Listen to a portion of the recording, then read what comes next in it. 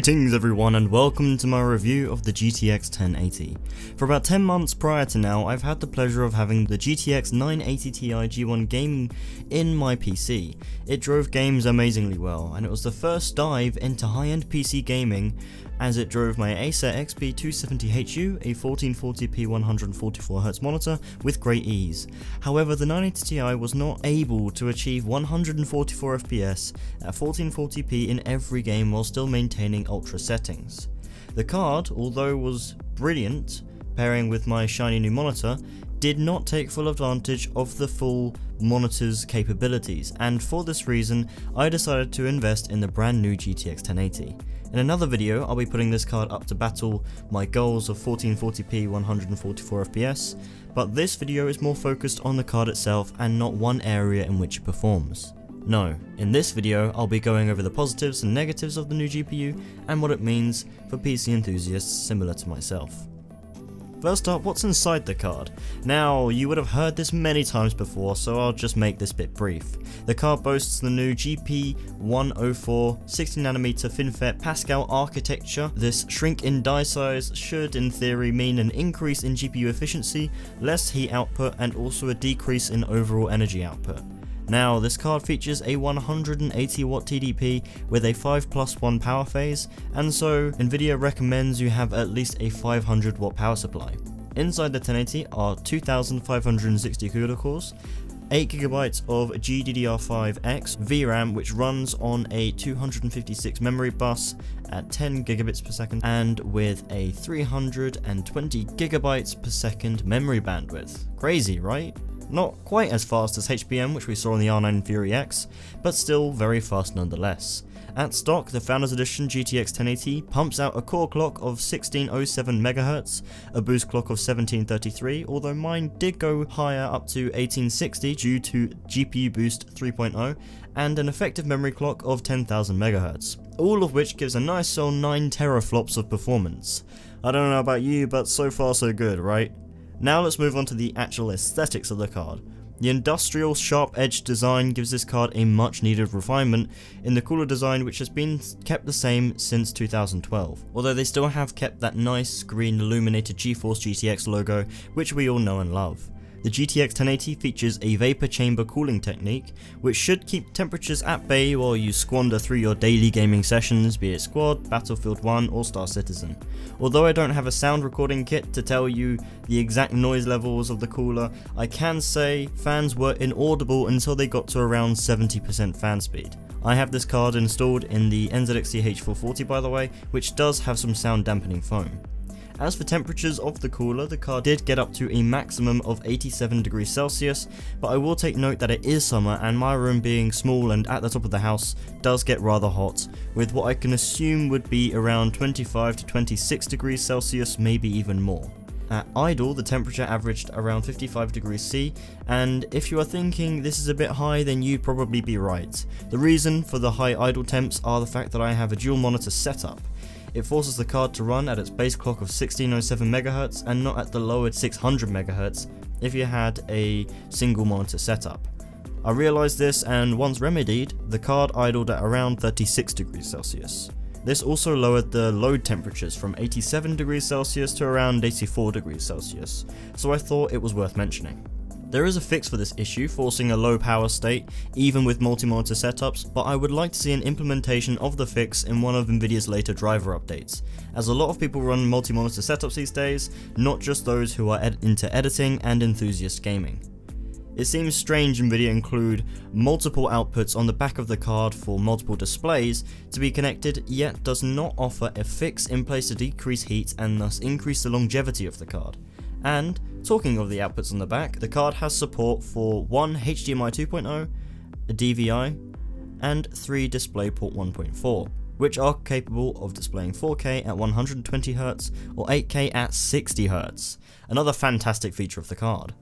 The final thing to this card, other than the simple but welcomed backplate for added security and rigidity, is the single 8-pin power connector which will supply the card with adequate sustenance. And so, that's all the boring stuff out of the way. How does it game? good question, but before I get into showing you a bunch of numbers to tickle your winky, I would like to make another note on the fact that I did do a tutorial on how to increase FPS in all games, and that video brought my FPS up a fair bit. But, for the video's purposes, I will not be showing the results affected by those tips. If you wish to see this card at its full potential after those video tips are enabled, click on this video here and go to the results. The link will also be in the video description. This video will be about stock performance.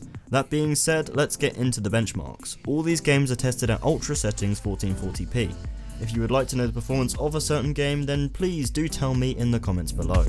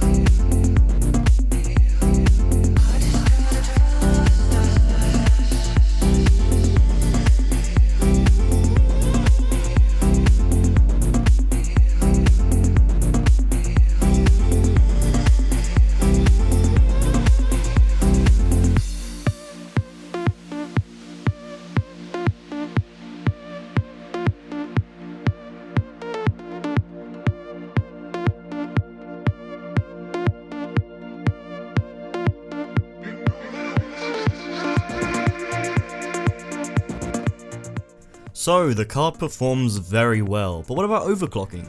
Overclocking was brilliant on this card, if it wasn't for GPU Boost 3.0, and the massive throttling that occurs after just a few minutes of use.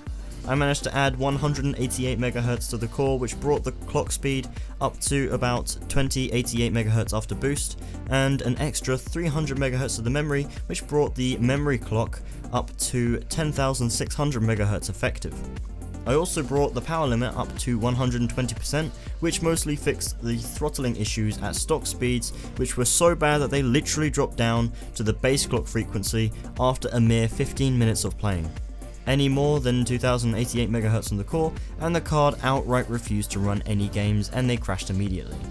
But honestly, any more than 2088 MHz on the core, and the card outright refused to run any games and they crashed immediately. But 2088 MHz was as stable as a hammered in doornail. I don't know why, I just couldn't achieve 2100 MHz, and even this overclock had problems.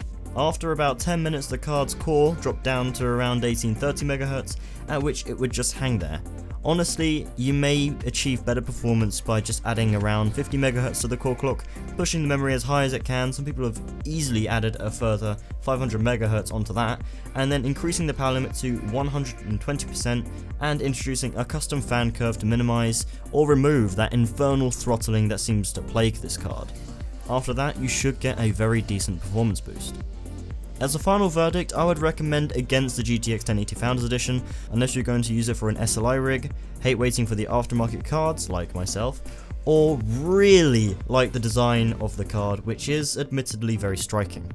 I recommend you instead go and buy yourself an aftermarket version, which we should be seeing more supply for within the next month or so. These cards are cheaper, cooler, quieter, and in many cases faster.